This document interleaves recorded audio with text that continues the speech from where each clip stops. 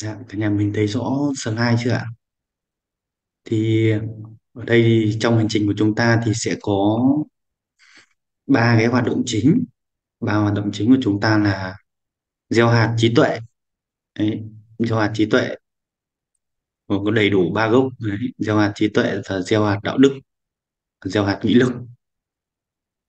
Thì với trí tuệ thì chúng ta sẽ có các buổi Zoom học đúng không ạ? Đó, Các buổi Zoom học cũng như là các bài tập chúng ta cùng đọc sách để nâng nâng tầm cái trí tuệ của mình. Và gieo hạt đạo đức thì chúng ta sẽ đi đọc bài tập của đồng đội và có những cái góp ý hay là góc nhìn góc nhìn cho đồng đội của mình. Thì giúp gọi là nâng đỡ uh, cho đồng đội của mình có những cái góc nhìn rõ hơn cùng nhau kiến giải để để hiểu sâu về bài học hơn ạ. Đó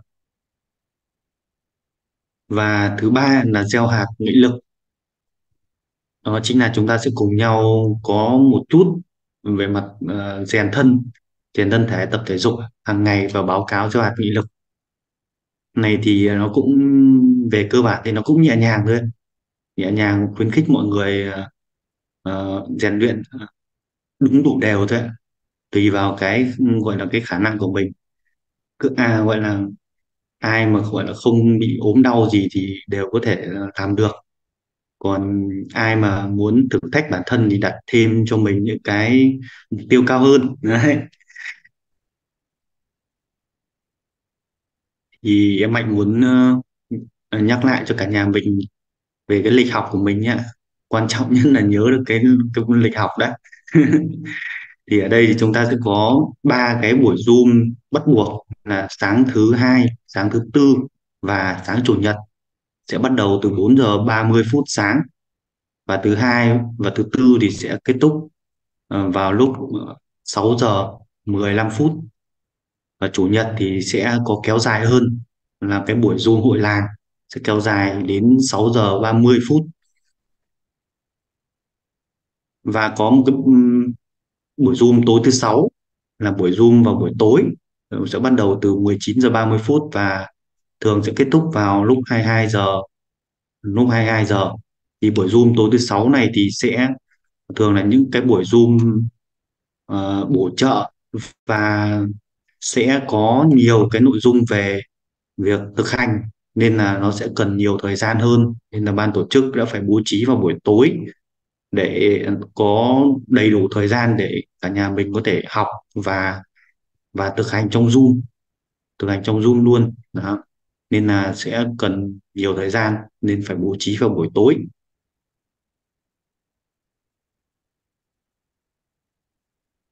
Thứ hai là về thời khóa biểu, bài tập thì chúng ta, mỗi một tuần chúng ta sẽ có ba bài tập cá nhân nhé. Ba bài tập cá nhân này thì sẽ tập trung vào việc đọc đọc sách chúng ta sẽ đọc hai cuốn sách nghề thầy của cụ Hoàng Đạo Thúy và uh, cuốn Tôi tự học của cụ Thu Giang Nguyễn Duy Cần. Và chúng ta sẽ có 5 bài tập này 5 bài tập cá nhân trên một tuần và sẽ được công bố đề bài cho cả 5 bài vào 20 giờ tối chủ nhật hàng tuần. Và chúng ta sẽ làm làm bài tập và báo cáo từ thứ hai cho đến thứ sáu từ thứ hai cho đến thứ sáu á. đó là 5 bài tập cá nhân chứ là từ thứ hai đến thứ sáu và hạn nộp báo cáo thì sẽ là 24 giờ hàng ngày còn mỗi một tuần thì chúng ta sẽ có một cái một cái bài nhật ký tuần để chúng ta cùng nhìn nhìn nhận lại nhìn nhận lại những cái bài học trong tuần để chúng ta cùng nhắc nhớ lại uh, những cái bài học trong tuần để chúng ta cùng Ờ, nhớ sâu hơn bài học. Nhớ sâu hơn bài học để tránh việc chúng ta đi lướt qua một tuần mà mà chúng ta lại uh, bỏ quên bỏ rơi mất điều gì đó. Thì chúng ta cùng cùng ờ, nhớ lại nhớ lại cũng như là nhìn nhận lại cái quá trình rèn luyện của mình một tuần để uh, chúng ta có một tuần tiếp theo có những cái bài học có những cái sự thay đổi điều chỉnh để cho việc học tập của chúng ta được tốt hơn ạ và mỗi một nhóm, mỗi một nhóm nhà thì sẽ sẽ cùng nhau hoàn thành một cái bài tập tuần. Và sẽ được công bố đề bài vào 20 giờ tối thứ sáu, tối thứ sáu của tuần trước và sẽ hoàn thành trong vòng một tuần. Tức là à, hạn là đến 24 giờ của tối thứ sáu tuần tuần tiếp theo. Ờ, đây là cái bài tập nhóm và sẽ hoàn thành trong vòng một tuần ạ. Và đây là những cái hoạt động chính cũng như là cái, những cái hạn hạn báo cáo, hạn báo cáo của chúng ta. Thì với cá nhân thì chúng ta sẽ có các buổi Zoom như vừa rồi. Và hạn báo cáo thì sẽ là 24 giờ cùng ngày. Tức là với buổi Zoom của sáng thứ hai, thứ tư và chủ nhật, cũng như là Zoom thứ sáu, thì sẽ là báo cáo của Zoom sáng thứ thứ hai thì sẽ là 24 giờ của thứ hai. Zoom thứ tư sẽ là 24 giờ thứ tư và Zoom chủ nhật sẽ là 24 giờ chủ nhật. Và với Zoom bổ trợ ờ, tối thứ sáu thì cũng là 24 giờ cùng ngày luôn. Sẽ dành cho, đây là cái buổi Zoom khuyến khích nên là sẽ sẽ tập trung ghi nhận báo cáo cho những thầy cô anh chị tham gia trực tiếp buổi Zoom học và ghi nhận thu hoạch cái buổi học của mình. Ờ, ngay ngay sau buổi học ạ. Và chúng ta có bài tập cá nhân thì cũng cũng đã chia sẻ ở trên.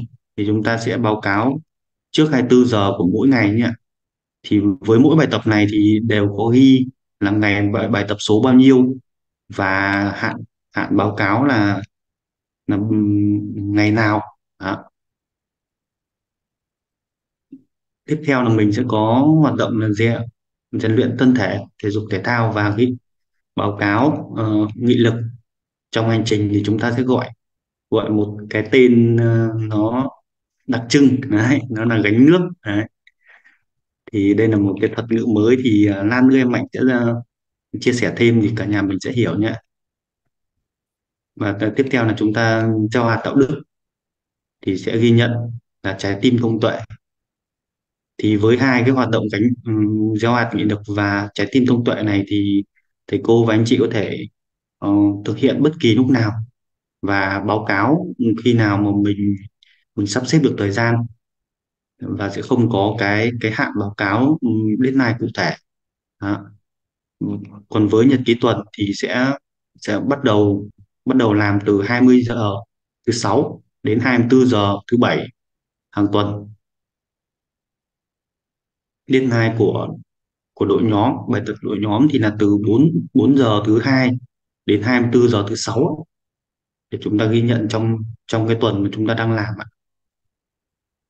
và đặc biệt đặc biệt là có một cái đó là chúng ta sẽ cùng nhau thực hiện lưu ý văn hóa bốn kỹ nhỉ chúng ta cùng kiểm tra lại cái kết quả ghi nhận rèn luyện của mình và của đồng đội, của đồng đội trong nhà qua bảng theo dõi rèn luyện khu vườn ba gốc. Và nếu mà chúng ta không báo cáo thì sẽ không báo cáo đúng hạn thì sẽ được gieo hạt nghị lực.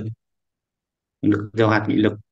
Sẽ chúng ta sẽ cần cột xì dầu nhé cột dầu chính là hình thức chúng ta sẽ sẽ đứng lên ngồi xuống tại chỗ ấy Đã, dạ, vậy thì uh, hoạt động gieo hạt trí tuệ của chúng ta thì sẽ ghi nhận như thế nào? Sẽ ghi nhận như thế nào? Thì với đặc trưng của hành trình kiến tạo văn hóa đọc thì là ba quả xanh vàng đỏ. Đấy. đặc trưng là là ba quả xanh vàng đỏ. Nên là những cái hình ảnh hình ảnh ghi nhận trong hành trình thì cũng có một cái đặc trưng tương tự như vậy. Sẽ ghi nhận theo kiểu quả xanh, quả vàng và quả đỏ. Thầy cô và anh chị tham gia buổi học và báo cáo đúng hạn thì sẽ được ghi nhận là cộng một quả đỏ cộng một quả đỏ còn nếu mà thầy cô và anh chị không tham gia buổi học, nhưng mà có có xem lại thì còn và đúc kết bài học gửi lên Zalo nhà và báo cáo thu hoạch trước 24 giờ cùng ngày thì sẽ được ghi nhận một quả xanh. Với buổi Zoom khuyến khích thứ sáu thì sẽ ghi nhận là một quả vàng. Em Mạnh xin ờ, chia sẻ về cấu trúc của cái bài tập. Bài tập của chúng ta sẽ có cấu trúc là ba phần là một phần quả xanh, một phần quả vàng và một phần quả đỏ. Thì với với những cái phần mục quả xanh thì sẽ thường là những cái câu hỏi chúng ta sẽ cùng đọc sách này và ghi lại những cái bài học kiến thức học được từ buổi học hay là kiến thức đúc kết, kết đúc kết những cái ý chính đã đọc được trong cuốn sách hay là những thông tin đa chiều thu thập mà tiếp cận từ thầy sách và bạn. Còn mục quả vàng mục quả vàng thì sẽ là những câu hỏi mang tính thảo luận của nhóm hay là những câu hỏi uh, suy ngẫm chiêm nghiệm hay phân tích những cái uh, chủ đề chủ đề sâu hơn cụ thể hơn. Còn mục quả đỏ thì là những cái bài tập sẽ mang tính hành động hay là ứng dụng những cái kiến thức đã học được vào vào thực tế cuộc sống của bản thân đó. đây là cái cấu trúc của của bài tập thì ở đây mình cũng xin uh, kiến giải thêm một số uh, cái thông tin ở đây là thầy cô và anh chị sẽ nhìn thấy ở chỗ ông mặt trời sẽ là có một cái số một số ở đây thì sẽ sẽ biểu thị là bài tập số bao nhiêu. Đó. và có vị trí vị trí nộp bài tập cũng như là hạn ngày hạn ngày giờ nộp bài tập ở bên góc dưới bên tay tay phải ạ. Đó là cấu trúc của một một bài tập hàng ngày, cá nhân hàng ngày của chúng ta. Mạnh ờ, quay lại với phần ghi nhận kết quả rèn luyện của chúng ta nhé thì với nhật ký tuần cũng như là bài tập tuần thì chúng ta sẽ ghi nhận quả đỏ. Nếu vâng, nếu cả nhà mình báo cáo đúng hạn trong hành trình thì thầy cô và anh chị không báo cáo đúng hạn thì sẽ bị trừ một một củ khoai. Một củ khoai thì sẽ là một cái một cái biểu tượng để thể hiện cái sự gọi là tích lũy tích lũy lỗi. Hết khoai là sẽ hết khoai là hết vốn đấy mỗi củ khoai này là của chúng ta sẽ là một uh, là một một kho vốn đấy, vốn của thầy cô và anh chị trong hành trình. Nên là mình sẽ giữ gìn uh, số khoai của mình nhé nhưng mà nếu mà thầy cô và anh chị có chót mình bị uh, mình bị uh, mất tỉnh thức hay là mình bận việc gì mình mình báo cáo không đúng ha thì sẽ có một cơ hội một cơ hội để để thầy cô và anh chị lấy lại được cái cái củ khoai đã mất của mình. Đó thì đây quy định về việc chăm sóc mầm khoai thì sẽ là cơ hội để thầy cô và anh chị lấy lại cái củ khoai của mình Đấy. Đó, sau khi đã có mầm khoai thì thầy cô và anh chị sẽ cần chăm sóc mầm khoai 10 lần và mỗi một lần thì sẽ cần tụt dầu 20 lần và điền một form chăm khoai và điều đặc biệt trong hành trình là các thầy cô và anh chị có tính được ra là mình sẽ cần phải thụt dầu bao nhiêu lần đúng không ạ? Với mỗi một với với mỗi mỗi mỗi một lần mình phạm lỗi thì mình mình sẽ cần thụt dầu bao nhiêu lần đúng không ạ? Chúng ta sẽ thụt dầu hai hai trăm lần 200 cái. Nhưng điều đặc điều đặc biệt trong hành trình là đồng đội của mình có thể giúp đỡ mình nhé. Đồng đội của mình có thể giúp đỡ giúp đỡ mình. Nếu mà khả năng của mình vẫn còn chưa tới chưa tới thì sẽ, mình sẽ mình sẽ cùng ờ, gọi là kêu gọi đồng đội và ờ, chung tay giúp đỡ nhé.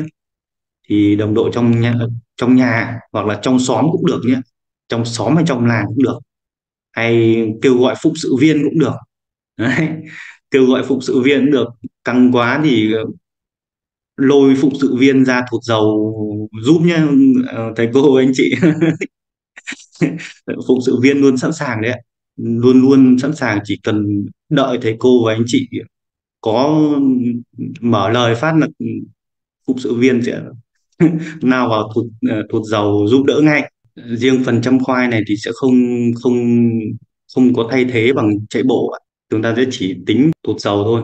Và ừ, em mạnh xin lưu ý với thầy cô và anh chị ờ, nhớ tìm hiểu về cái cách thức mình thụt dầu tập nhưng mà phải đúng đúng cách và đúng tư thế thì nó mới có lợi cho sức khỏe được ạ rồi mầm khoai mà xuất hiện trong vòng 48 giờ. Tức là thầy cô và anh chị sẽ phải phải hoàn thành hoàn thành nhiệm vụ. Báo cáo bù.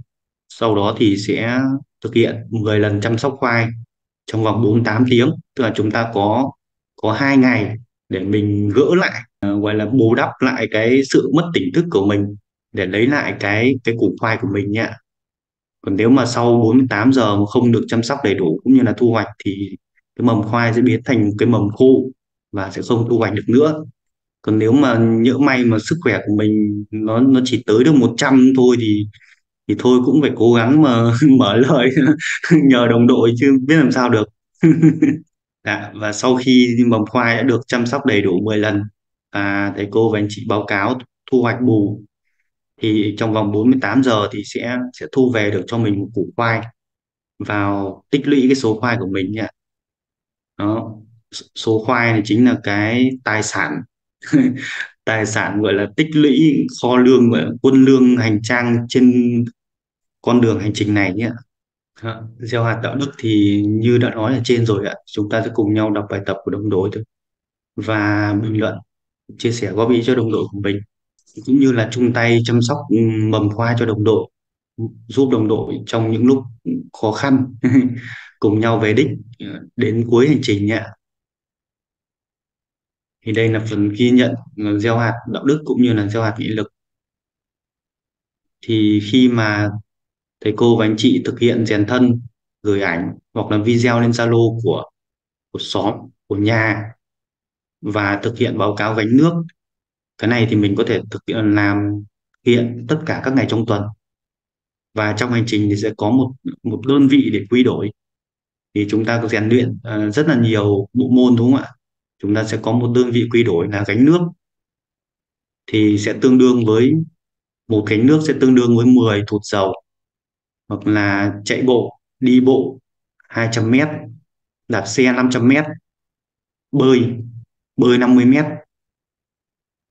kéo xà 5, 5 cái hít đất 5 cái hoặc là plank một phút gập bụng 10 cái hoặc là thầy cô và anh chị nào tập các bộ môn khác thì thầy cô và anh chị uh, quy đổi theo thời gian giúp em mạnh nhé thì chúng ta sẽ tính là 2 phút uh, tập luyện với bộ môn khác thì sẽ quy đổi về một gánh nước ạ.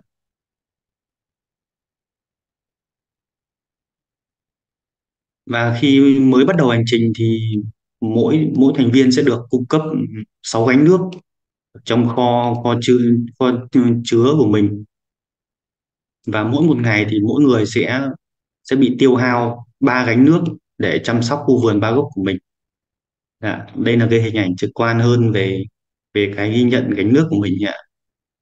Đó, thì các bộ môn khác thì chúng ta sẽ tính là 2 phút sẽ quy đổi về một gánh nước.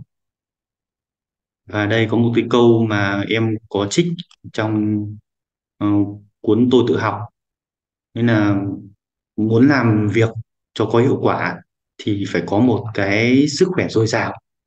Khi mà thầy cô và anh chị đọc bài tập của đồng đội và tham gia bình luận, cảm nhận, chia sẻ cảm nhận hay là góc nhìn cá nhân của mình để thảo luận về nội dung phần bài tập của đồng đội và điền form gieo hạt đạo đức thì sẽ tích lũy được một trái tim thông tuệ. Đạp xe thì mình sẽ có những cái phần mềm ghi nhận uh, rèn luyện ấy ạ. Ghi nhận rèn luyện trên trên điện thoại thì mình chỉ cần chụp ảnh cái đó và gửi lên Zalo thôi ạ. À, tại sao thì ở đây thì trong hành trình gọi là trái tim thông tuệ vì khi mà chúng ta cùng đọc bài tập của đồng đội thì ngoài việc giúp cho đồng đội có thêm động lực giúp cho đồng đội thì giúp cho cả bản thân mình cũng như là đồng đội hiểu rõ hiểu hơn về bài học. Và trí tuệ sẽ được tăng trưởng nhiều hơn nên là sẽ nên là trong hành trình gọi là cái hành động của chúng ta là đang gieo hạt đạo đức nhưng mà lại giúp cho tăng trưởng trí tuệ. Đấy, đấy. Đây là trái tim thông tuệ nhé. Về cái gánh nước thì thầy cô và anh chị có thể thực hiện uh, ba môn phối hợp là bốn môn phối hợp được nhé mình cứ mình cứ tập rồi mình sẽ tính tổng tất cả vào. Tính tổng tất cả các bộ môn mình đã tập vào rồi mình mình mình tính tổng vào, mình ra số lượng không không bó buộc trong một bài tập đâu ạ. Nếu mà bơi được 50 mét thì chúng ta sẽ sẽ ghi nhận là một gánh nước ạ. Còn nếu mà không không tính được số mét thì có thể tính theo thời gian ạ mình mình ra mình ra biển bơi thì thì thì mình sẽ tính tính thời gian cũng được ạ. Đấy, mình bơi 30 phút thì mình sẽ tính là 15 gánh nước ạ. Nhưng đặc biệt là nhớ là thời gian bơi nhá không tính thời gian mình mình vầy nước ở, ở, ở hay là nghịch cát ở, ở trên bờ đâu ạ. Trong hành trình thì chúng ta có 9 tuần đúng không ạ? Thì thầy cô và anh chị sẽ có một tuần sẽ có một tuần để để làm quen đồng đội cũng như là nắm bắt cách cách thức thu hoạch quả. Chúng ta sẽ có một tuần để chúng ta làm quen với với việc rèn luyện này cũng như là việc báo cáo. Nên là thầy cô và anh chị uh, cứ thoải mái nhé. Cứ thoải mái có gì không chưa rõ chưa hiểu hay là mình làm mà nó chưa ghi nhận chưa đúng thì mình cứ phản hồi với đồng đội trong nhà. Đồng đội có thể giúp đỡ hay phụng sự viên có thể giúp đỡ là ban tổ chức cũng có thể uh, kiến giải thêm cho và tìm ra cái điều mà mình mình đang chưa làm được. Và sau một tuần làm quen thì ban tổ chức sẽ cung cấp cho mỗi mỗi thầy cô và anh chị là 15 củ khoai làm hành trang làm hành trang trong hành trình này. Và nếu mà uh, thầy cô và anh chị nào mà sử dụng hết cái số khoai của mình này thì sẽ được tự động đưa ra khỏi danh sách rèn luyện. À, 15 củ gợ kể ra thì cũng cũng khó ăn hết nhưng mà với những ai mà không chịu thu hoạch quả thì cũng ăn cũng nhanh lắm ạ. Một tuần chúng ta có chín mười quả cần phải thu hoạch cơ ạ. nên là nếu mà nếu mà không chịu khó thu hoạch quả thì cũng nhanh nhanh ăn hết lắm về quy định về dừng hành trình thì chúng ta sẽ cùng quy ước với nhau một số điều như sau ạ. Với với học viên nào mà có các hành vi như chào mời, buôn bán ờ, buôn bán, chào mời và buôn bán ờ, quấy rối quyền riêng tư của các học viên khác, thì ban tổ chức xin phép sẽ hủy kết quả của học viên và đưa vào danh sách hạn chế tham gia vào các khóa học sau cũng như là các khóa học khác ờ, trong dự án trí tuệ Việt Nam ạ. Thứ hai là bản thân học viên ừ, có mong muốn dừng hành trình sau khi được, đã được đồng đội cũng như là ban phụng sự hiểu thương động viên khích lệ nhưng vì những cái lý do bất khả kháng mà mình không thể tham gia được tiếp tục hành trình nữa thì thầy cô và anh chị báo báo lại cho cho ban cán sự của nhà và cho phụng sự viên. Ờ, để để phụng sự viên và ban cán sự của nhà nắm được thì học viên sẽ dừng hành trình và hẹn tham gia vào khóa sau ạ. Trường hợp thứ ba là học viên sử dụng hết số lượng khoai của mình thì cũng sẽ cũng sẽ được đưa ra khỏi danh sách rèn luyện. Hệ thống sẽ tự động ờ, đưa đưa ra khỏi danh sách rèn luyện nhưng thầy cô và anh chị vẫn có thể ở trong Zalo của của lớp học. Vẫn có thể ra tham gia vào Zalo của lớp học hay là rèn luyện rèn luyện tự mình rèn luyện cách từ tâm và không không cần phải không phải uh, gọi là chịu cái kỷ luật gì của hành trình nữa.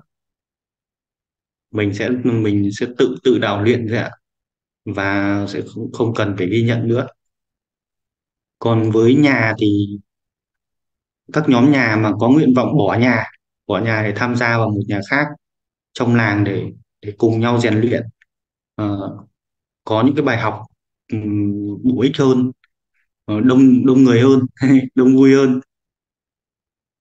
thì cũng sẽ sẽ được xem xét xem xét um, cái nguyện vọng đó có có đúng không thì sẽ sẽ được tham gia vào các nhà khác. Và với nhà mà mà quân số xuống dưới 6 người tức là các thành viên uh, còn lại trong nhà đó mà uh, dưới 6 người thì sẽ bắt buộc sẽ phải phải tìm một nhà khác để chúng ta cùng cùng tham gia vào cùng tham gia vào để cùng nhau rèn luyện được hiệu quả hơn. Tránh trường hợp là các nhà các nhóm chúng ta ít người quá thì sẽ rất khó để hoàn thành bài tập nhóm cũng như là uh, mất đi được một những cái giá trị của việc làm làm việc đội nhóm và những cái góc nhìn đa chiều từ đồng đội. Đó, đó là những cái mà điều ban tổ chức ừ, rất là mong muốn ờ, thầy cô và anh chị sẽ học được nhiều bài học từ đồng đội hơn. Rồi cuối cùng thì em Mạnh xin chia sẻ cái slide một số cái biểu tượng mà thì cô và anh chị lên bảng theo dõi rèn luyện thì có thể gặp phải nhé thì nhìn qua ở đây thì sẽ thấy là toàn hoa với cả mầm với cả quả thôi thì khi mà bảng rèn luyện mà xuất hiện bông hoa, thì thầy cô và anh chị sẽ biết là mình đang cần phải báo cáo, cần phải báo cáo cái cái mục này, cần phải hoàn thành nhiệm vụ và báo cáo. Về ghi nhận quả xanh, quả vàng, quả đỏ thì sẽ là ghi nhận cái kết quả rèn luyện tùy vào cái mức độ hoàn thành nhiệm vụ của thầy cô và anh chị.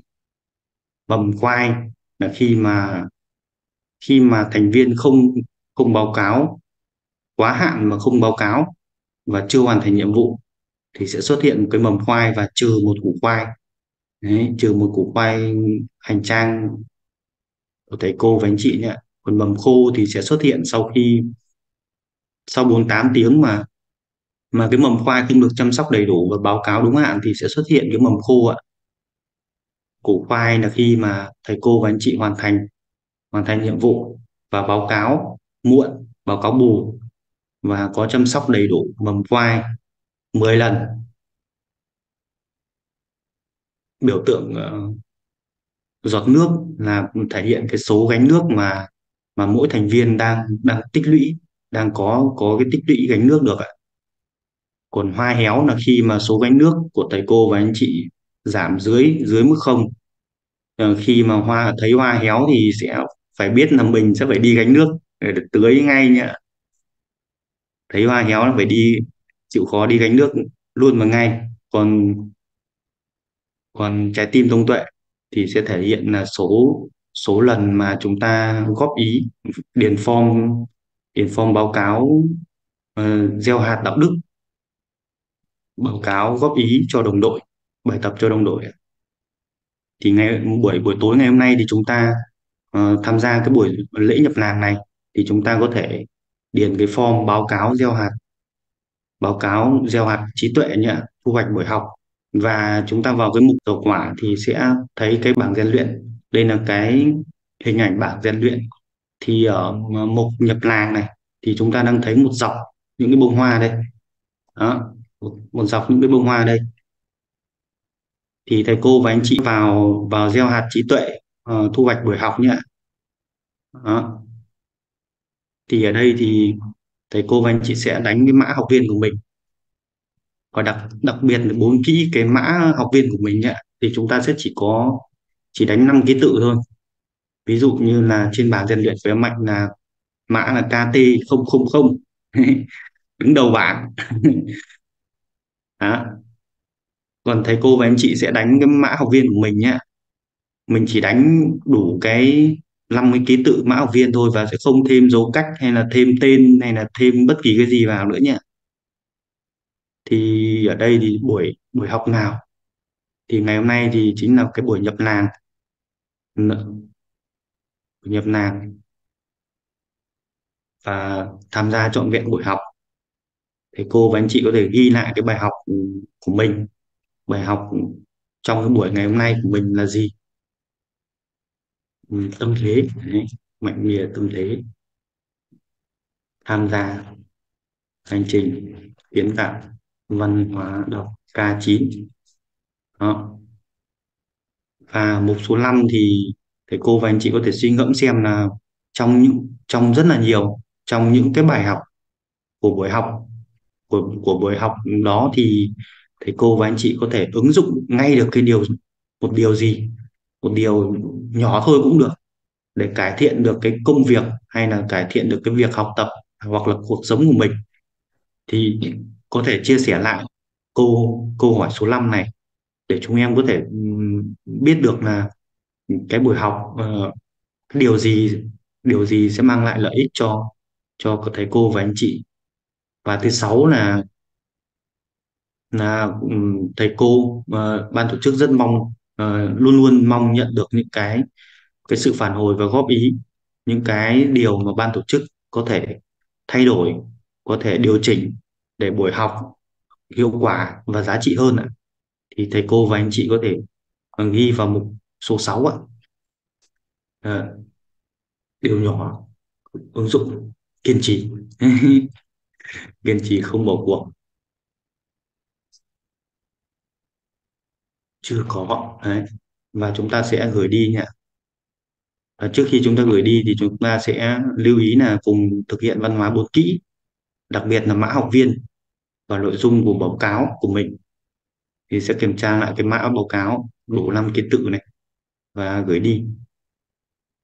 Và sau đó thì chúng ta sẽ sẽ quay trở lại với bản đồ bản đồ học tập K9 và vào giỏ quả.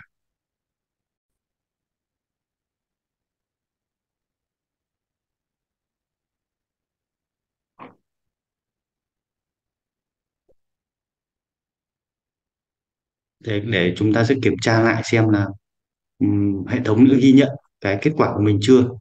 Đấy mãi chưa thấy ghi nhận quả. hệ thống lỗi à? Ấy thấy hệ thống lỗi phát là phải inbox ngay cho em Mạnh. Mạnh ơi sao sao anh báo cáo mãi không được?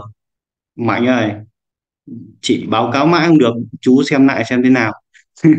À, thì nếu mà nếu mà thầy cô và anh chị báo cáo mãi mà không được thì có thể inbox cho em Mạnh hoặc là hỏi đồng đội hoặc ban phục sự trong nhà nhé đấy ở đây em Mạnh em thấy là nó cũng không chưa ghi nhận đến. Thì à, em Mạnh à, ừ, thầy cô và anh chị có thể à, thử nhé trong video đó thì em Mạnh xin phép khoảng 2 phút để để xem là tại sao nó không ghi nhận.